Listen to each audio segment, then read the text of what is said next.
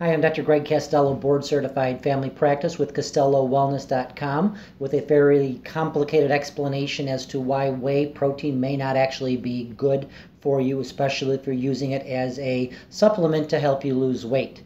So you buy these big jugs of protein powder. It's almost always whey protein because that's the least expensive, most readily available protein. The more expensive powders are a mix of egg and casein and other proteins, and they're probably better. I had a suspicion that uh, protein powder was making me have hypoglycemia attacks. When I would drink a protein drink, I'd get jittery and shaky about an hour later. I measured insulin level and blood glucose fasting. I drank a whey protein drink, and an hour later, I felt shaky. My blood sugar was low. My insulin levels were actually about 10 times higher.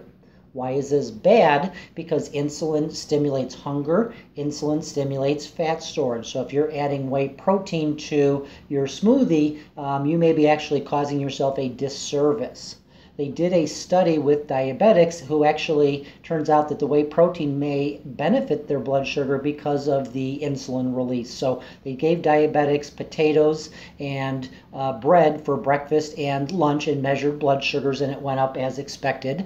Uh, they then gave the same diabetics the same potatoes and bread for breakfast and lunch, but they gave them a whey protein drink additionally their blood sugars were better, their insulin levels were higher. So for a diabetic, it may actually be better to take whey protein to get that insulin release, but again, it can cause weight gain and cause fat storage.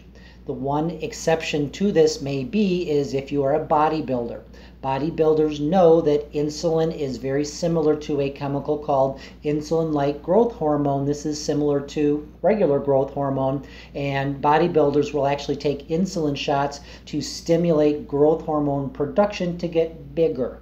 They will also, after a at workout, take a high carbohydrate meal or take a high carbohydrate meal with creatine to stimulate insulin release with that hope of uh, releasing this insulin like growth factor for everybody else in the world, especially if you're trying to lose fat, especially if you're trying to control your appetite, whey protein may be de- detrimental. So, if you're going to do a protein drink or add protein to your smoothie, you probably want to spend a little bit more money, buy a casein or egg white or a mix of other sources of protein, not just the whey protein. So, again, whey protein stimulates insulin release, lowers your blood sugar. If you're diabetic, that may be okay but for everybody else, that's bad. It causes you to eat more and it causes you to uh, gain weight and gain fat. So avoid whey if you can. Dr. Castello, thanks.